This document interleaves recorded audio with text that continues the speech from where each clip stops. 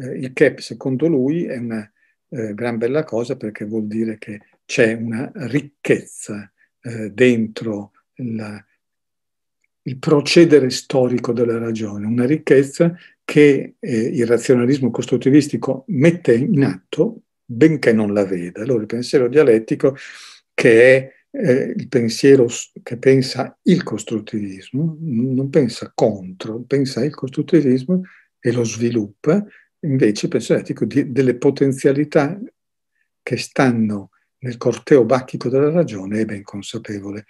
Eh, oppure si può dire che il fatto che la modernità sia un'epoca, un tempo sospeso in cui l'agire e il, il pensare eh, producono un'istanza tecnica che è tendenzialmente progressiva e che tuttavia incontra continuamente ostacoli e attriti, da ciò si può tirare fuori un'altra tesi, la tesi del pensiero negativo, cioè che quello che conta, l'essenza dell'epoca è per l'appunto il suo essere insensata e di una insensatezza radicale non emendabile.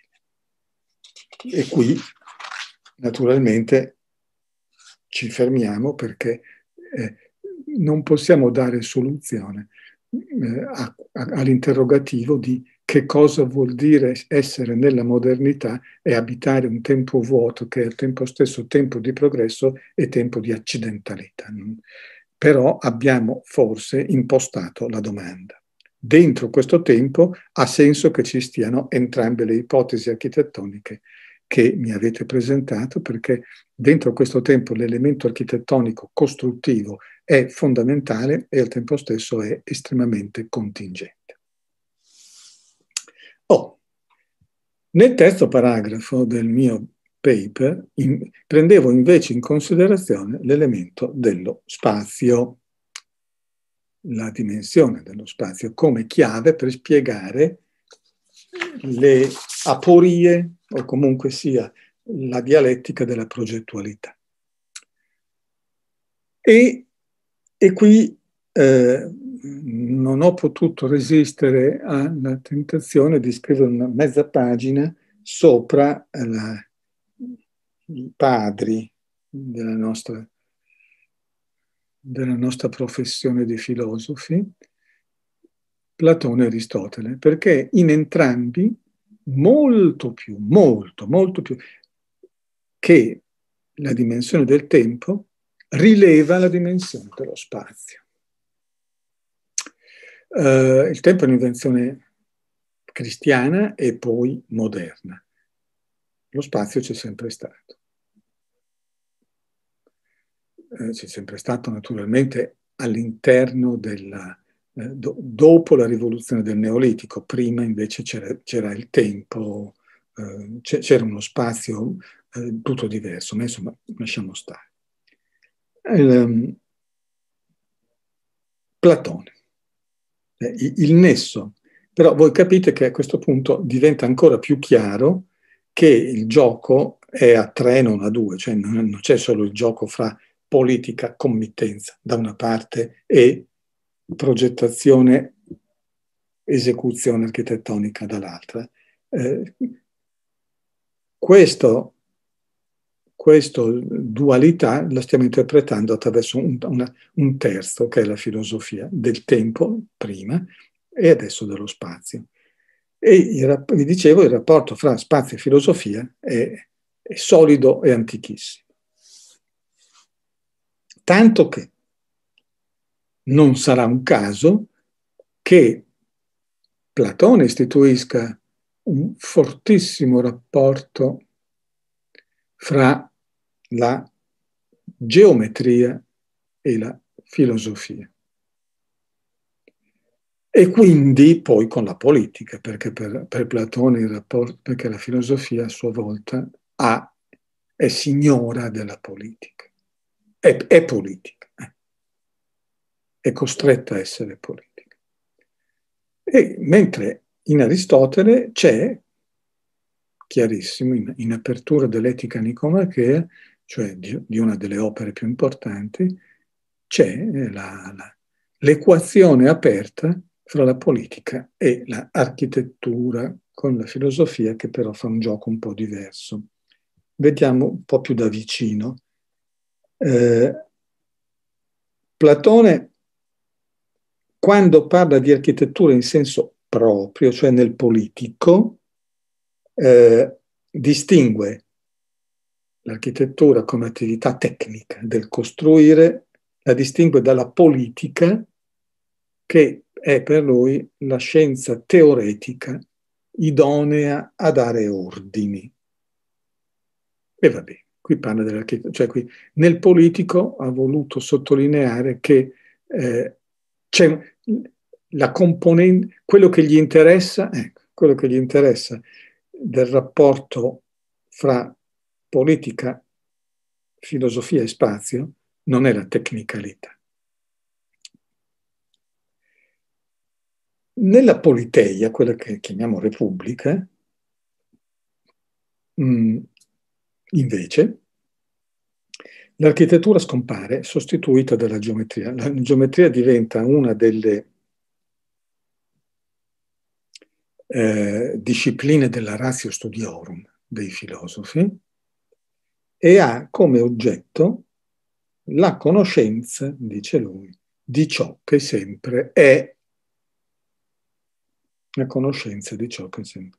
Però stiamo attenti, è una conoscenza dianoetica, non dialettica, cioè, ancora una volta,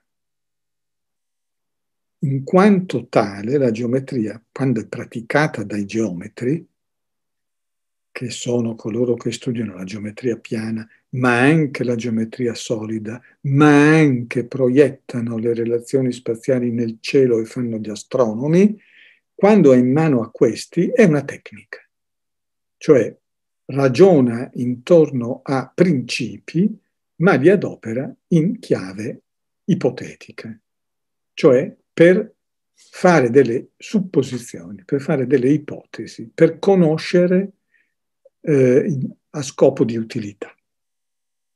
Quando invece la geometria è in mano al filosofo, ovvero sia al dialettico, colui che pratica l'ultimo grado della ratio studiorum, cioè appunto la dialettica, quando è lì, nelle mani di, del dialettico, la geometria diventa sostanzialmente eh, il sapere. E questo lui ce lo dice in due modi, dicendo che quando non è sorretta dalla dialettica, la geometria si muove come una sonnambula e quando, come sappiamo, fa scrivere sull'architrave dell'Accademia eh, il, il motto non entri chi non è geometra. Allora, la filosofia è un'idea di spazio saputo come lo spazio in cui un sapere supremo, la filosofia, perché è sapere delle idee ed è al tempo stesso sapere di ciò che è oltre le idee, cioè sapere del bene, è lo, lo spazio in cui la filosofia, e solo la filosofia, può disporre le tecniche, tra cui la geometria, e comandare. Perché disporre ha senso se sai e il sapere ti fornisce la legittimità per comandare. Per cui è un sapere, la filosofia è politica perché è un sapere dello spazio, un sapere dello spazio che ha base geometrica, ma che per noi con i nostri occhi è un sapere sostanzialmente architettonico. Che cos'è la Callipolis, la città ideale, è la città in cui le, cosce- le anime dei singoli cittadini e l'intera struttura della città sono state e vengono continuamente disposte, ben disposte l'anima, ben disposta la città. viene continuamente ben disposta in modo tale che ciascuno abbia il proprio posto e solo quello e faccia soltanto ciò che sa fare e quello che egli sa fare glielo dicono i filosofi che sono capaci di conoscere le anime e in questa città ben disposta si realizza una, una organizzazione, diciamo così, spaziale, che è la stessa cosa che la politica, che è la stessa cosa che la filosofia.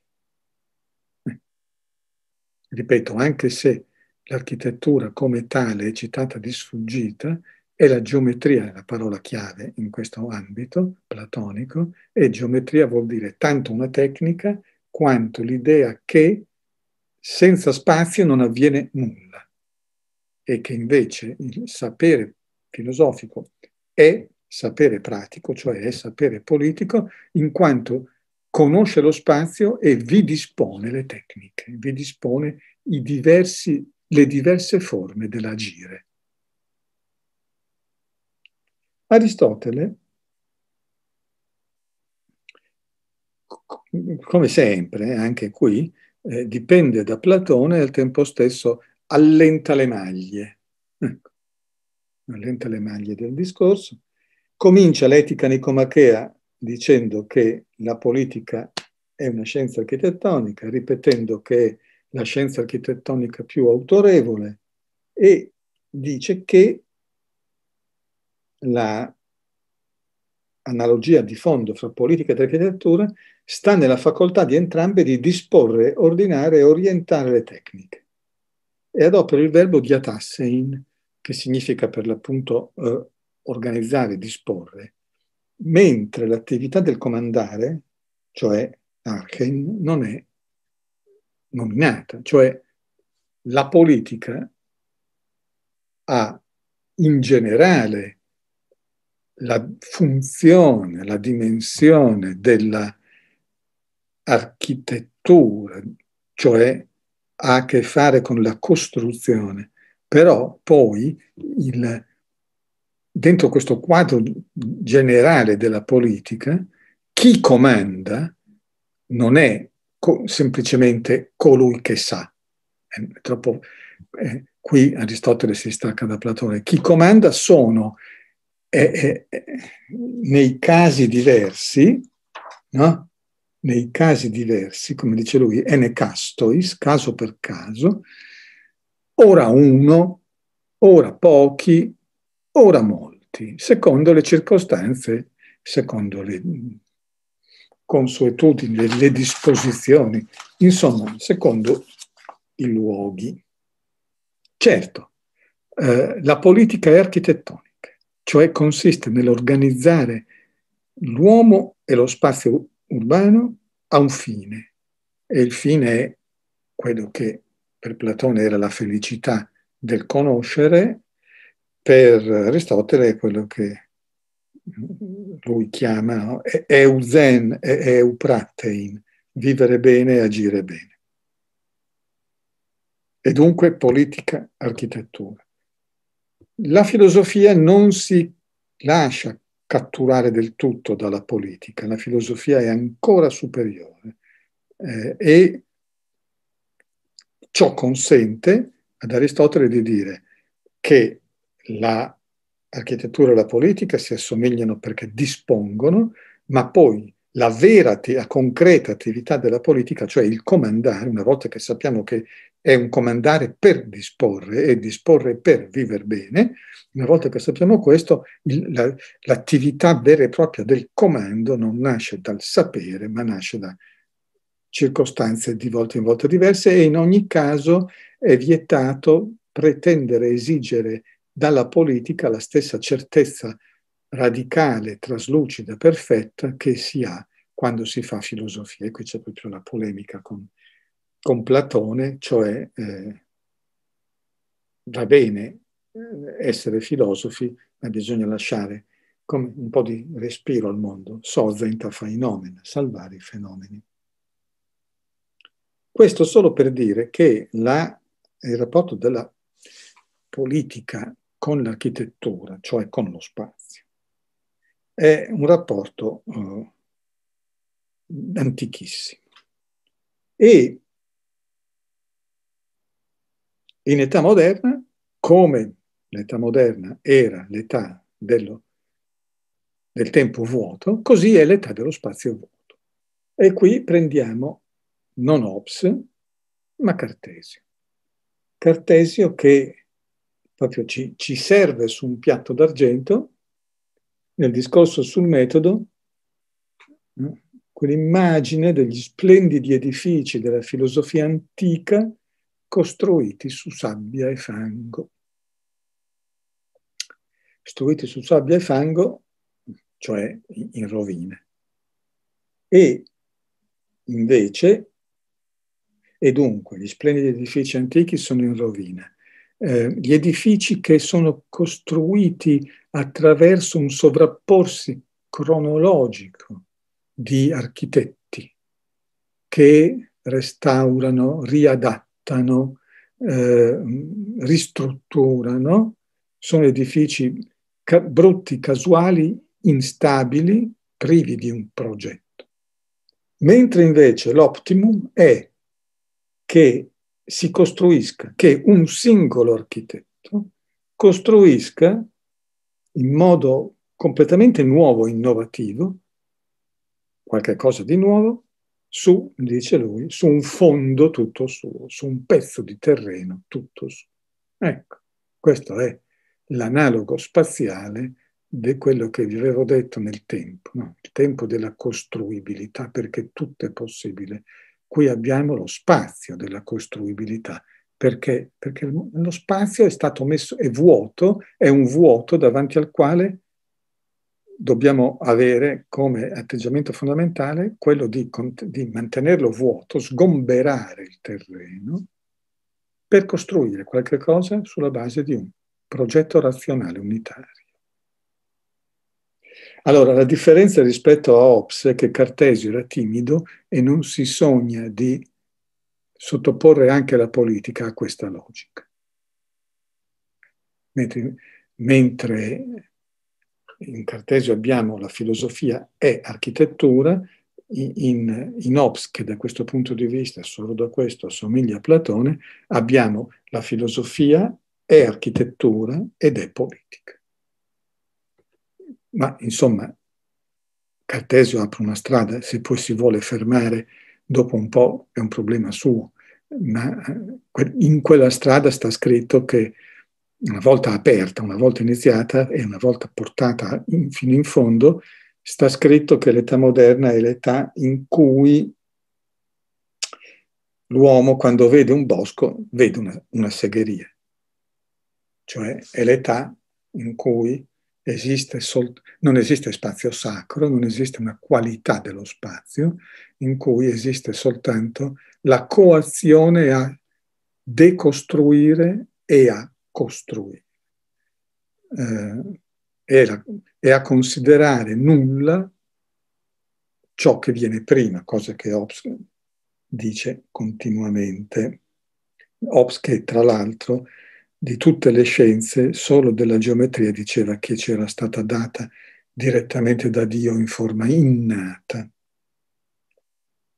Allora, modernità come lo spazio vuoto, lo spazio in cui giganteggia il soggetto costruttivistico, eh, ma ancora, come vi ho detto per quanto riguarda il tempo, anche per quanto riguarda lo spazio, ciò è al tempo stesso vero e non vero. Nel senso che la politica moderna è sicuramente tecnica, cioè è sicuramente costruzione razionale, ma proprio poiché lo spazio moderno è uno spazio privo di senso, cioè uno spazio in cui può succedere di tutto, lo spazio moderno è tutt'altro che liscio, omogeneo e ugualmente costruibile come esso pretende di sé. E qui abbiamo appunto il Novecento decostruttore che ci dimostra come la spazialità moderna nel suo essere lo spazio della costruibilità è al tempo stesso lo spazio delle differenze, anzi la costruibilità è, c'è perché ci sono le differenze. La costruibilità, cioè la razionalità dell'abitare lo spazio moderno, è possibile perché da qualche parte si formano, perché questa costruibilità nasce una, a sua volta da una decisione, da una decisione differenziante, cioè da una decisione che distingue fra gli spazi della costruibilità e gli spazi invece della natura selvaggia. Cioè, detto in chiave politica, gli stati moderni sono tutti degli imperi, hanno senso, si pongono come Stato, cioè come costruzione razionale della cittadinanza uguale in Europa, perché, non nonostante, perché si comportano in modo opposto in spazi non europei, negli spazi delle colonie, dove non c'è la costruibilità, ma c'è la rapinabilità. Con anche l'idea che le tecniche di rapina e di assoggettamento che si pongono in essere negli spazi non europei possono essere utilmente impiegate anche nello spazio liscio della costruibilità europea. Oppure, per dirla ancora in modo più semplice, con lo Schmidt del Nomos della Terra, eh, il Nomos della Terra nell'età moderna, che lui chiama l'età dello Ius Publicum Europeum, è il fatto che la Terra viene distinta fra la Terra europea, dove c'è la differenza fra stati qualitativamente omogenei, e la Terra non europea, che, viene, che è oggetto di possesso coloniale, oltre che la differenza fra terra e mare, cioè fra il continente europeo e l'Inghilterra. Non solo, ma al di là di questa grande dimostrazione che la spazialità moderna sotto il profilo geopolitico è una spazialità fratta e discontinua, noi abbiamo ma l'abbiamo con Weber addirittura, l'idea che eh, la razionalità costruttivistica moderna è intrinsecamente portatrice di ritardi e di attriti.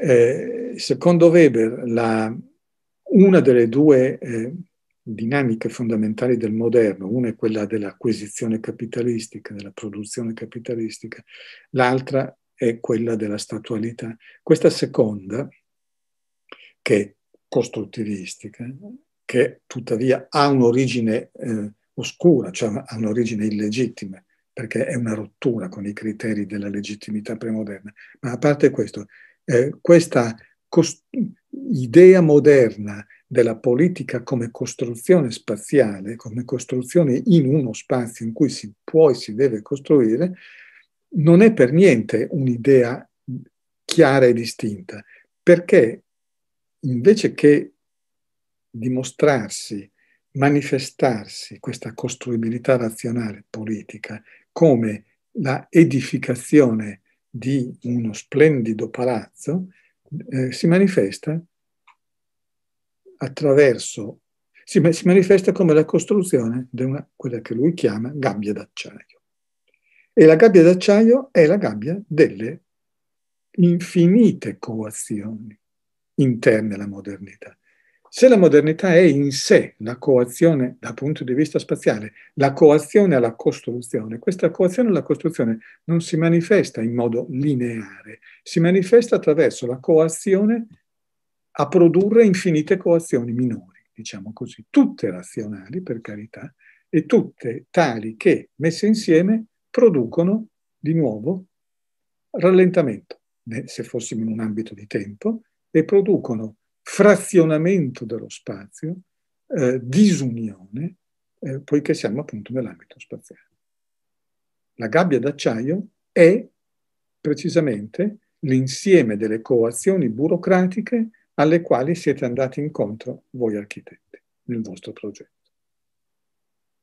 Allora, come la linea diventa labirinto, come il tempo della grande decisione si frantuma nel tempo delle contingenze, così lo spazio della costruibilità si eh, apre, si fessura, si infittisce di ostacoli attraverso il riprodursi di quella che sembrava la logica architettonica chiarificatrice, cioè la logica burocratica, cioè il costruire canoni, criteri, eh, procedure, grazie alle quali l'agire dovrebbe essere ancora più tecnicamente razionale. Bene, questo invece non va a finire dove vuol finire, va a finire da un'altra parte, va a finire non nell'edificio, ma nella gabbia. Ed è precisa, e dunque non nell'uniformità, ma nella molteplicità. Il che, o detto in un altro modo, lo spazio liscio, omogeneo, costruibile, si rivela appunto un labirinto e, come scrivevo ormai nella parte finale del mio paper, non il labirinto del giardino l'italiana, bello razionale, che visto dall'alto ti fa capire che c'è la mano dell'uomo, ma una selva dalla quale si può uscire certamente, ma un po' per caso e soprattutto diversi e con un percorso diverso da come ci si è entrati.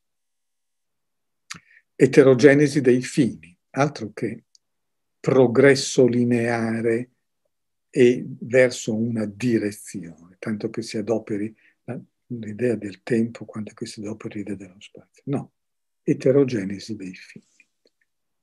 Dunque, attraverso il tempo e lo spazio abbiamo detto che quelle due ipotesi di funzionamento della, eh, della macchina progettuale moderna, Sper e voi, proprio nella loro diversità appartengono allo stesso tempo e allo stesso spazio, cioè alla stessa epoca, e ne portano alla luce le intrinseche contraddizioni, intrinseche, non esterne.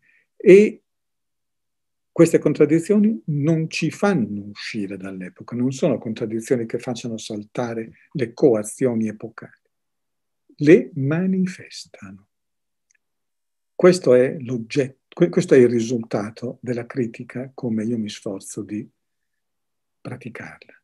Se uno dice, ma tu devi praticare una critica che oltre che far vedere l'emergere delle contraddizioni epocali, le superi, allora vi dico che A, forse è impossibile attraverso la critica fare ciò, ma che in ogni caso non basta la critica dello spazio, non basta la critica del tempo, è necessario introdurre anche, reintrodurre anche la critica dell'economia politica.